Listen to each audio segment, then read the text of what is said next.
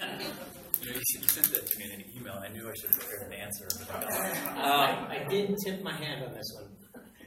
Well, when I, when I think of IBM just as a designer, I think of Paul Rand. I think of a, a heritage of great design. I think of Charles and Ray Eames. I think of complexity beautifully presented. I think of I, complex, powerful ideas that are world changing, presented in intimate ways that um, are exciting and um, and at the same time uh, feel tangible and real. And I think there's so much of what IBM does from a marketing standpoint, from a culture standpoint, at least to an outsider, that is really admirable and uh, is something that is worth understanding at a deep level because I think it's all lessons that all companies, as they look forward to becoming a modern food company or modern whatever category they're in, should incorporate into their own culture and way of doing business.